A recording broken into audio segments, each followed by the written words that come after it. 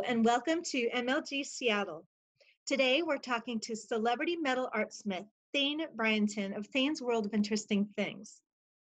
Being an artist is one thing, but adding the elements of fire, steel, and brawn to create a whole new canvas isn't for the faint of heart or hand.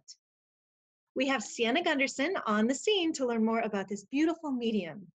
Take it away, Miss Sienna.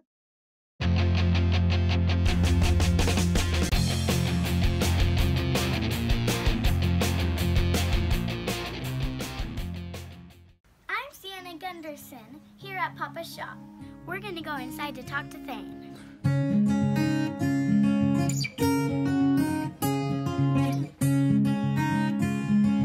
Hi, Papa. I'm Sienna. You're a cutie.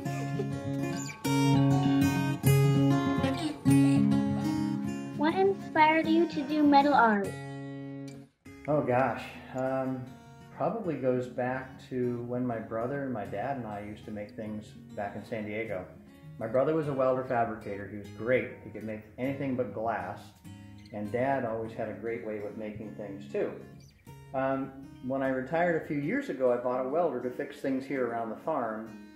But more recently, I kind of found um, I'm fairly artistic.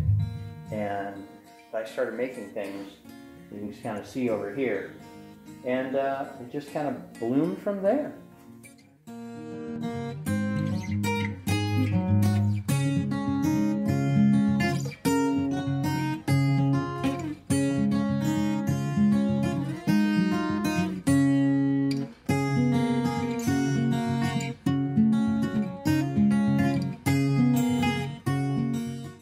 How do you come up with ideas for your artwork?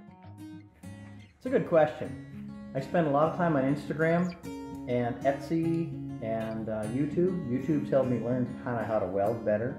I've even taken a welding class now that I'm 63 years old, and uh, it's been a lot of fun. So I get most of my inspiration from other art that I see, and then I modify things. Uh, for instance, I saw something like this on somebody's site, and I found this rock up in Puyallup last weekend, and it developed into this. It's kind of an abstract, but it's called Who Done It. So here's the little guy with his monocle, and that's his protege. So it's like Sherlock Holmes. But uh, stuff like this is just what I come up with, and until I had a welder, I didn't even know I had that kind of talent.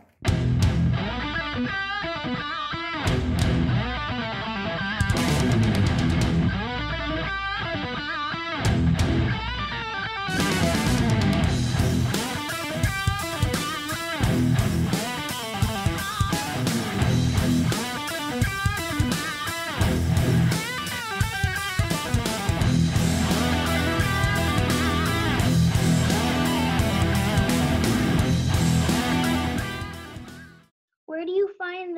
pieces that you use for your artwork? Now that I've got friends and family that know that I do this kind of stuff, and my neighbors too, they oftentimes come by the house and just drop stuff off or call me or let me know they have things for me.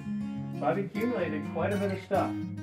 I've got probably four or five hundred horseshoes that a farrier gave me. So I like to make things from those. You saw some out there. And I've also got a whole lot of just random stuff that I pick up. So this I just got yesterday which I will hang a bell from. And it's probably part of an old fireplace set. But anyway, that'll become a hanger. And I've got old gears and saws and bicycle parts, these little leaves. I can't make them for what I can buy this for at Goodwill or Value Village. So that's another source of my surprise parts too.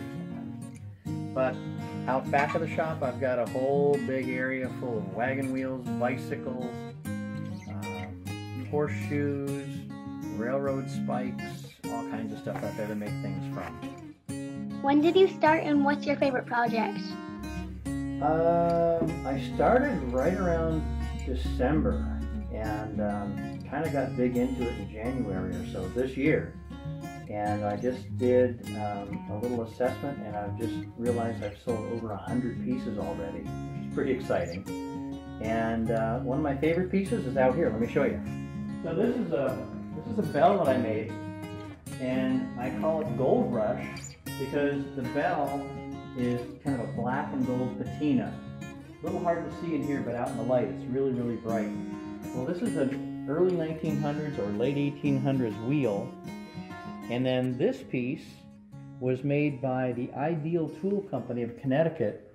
It's a 1909 uh, 30 6 rifle cartridge reloading tool. I had no idea before I welded it to this, but I could have got 85 bucks for it on eBay. Anyway, it just seemed to make sense that this is called Gold Rush and it's got a great tone. So I think that's one of my favorite pieces right now. It's just looking for a new home. Along with these other bells too.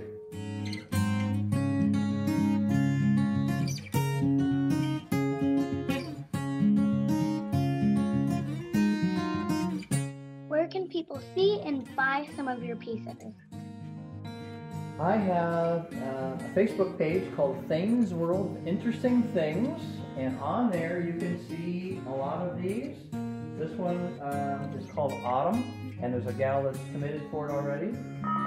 It's got the fall colors, and then I handcrafted the maple leaf on there too. And it just takes just a little slight breeze for that thing to ring. But they can find me on Facebook and also on Instagram. And eventually I'll probably have a uh, YouTube channel as well. I just haven't gotten that far because I'm busy making things. Thanks for coming in.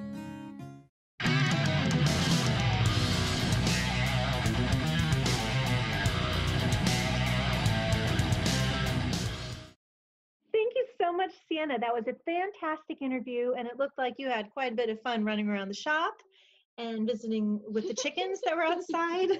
Do you have anything that you would like to say in closing? I love you. Bye. Thanks for tuning in to MLG Seattle. We love you. Bye.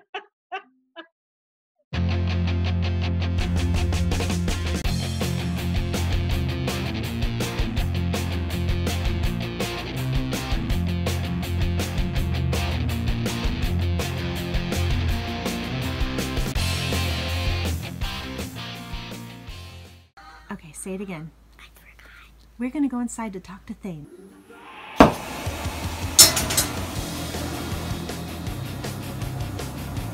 right, do some tricks.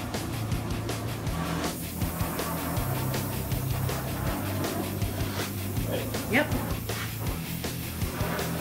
Is it dangerous if I get too close? Nope.